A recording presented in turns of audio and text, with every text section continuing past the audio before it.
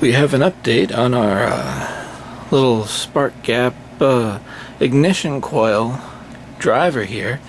My own schematic that I drew back in, what was it, about 2009 or so?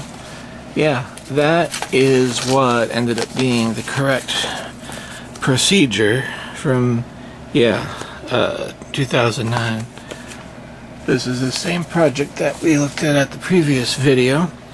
And now, when we pull the switch, we get our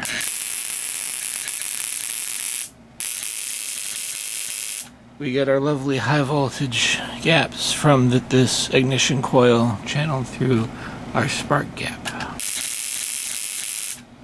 Our right hand side is uh, connected to our batteries that run the the triggered pulsed spark gap, which you uh, you can see right there.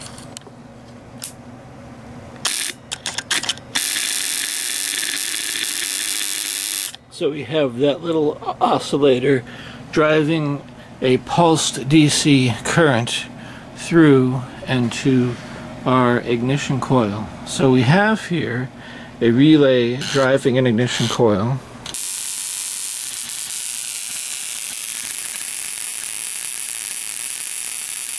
So this works, but that much wear on the relay is probably going to burn out the contacts after, you know, an hour or two.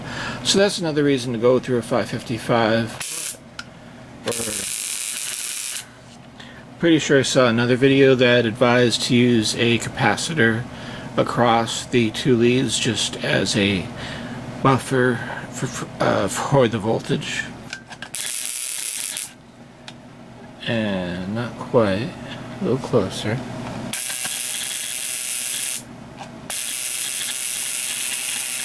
There it is. So that RF interference is talking to that lightsaber toy over there.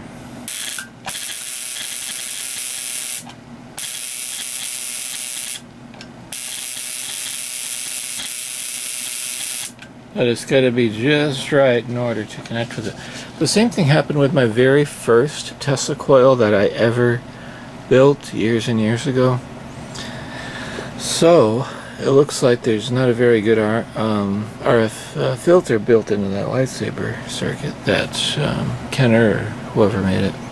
Anyways.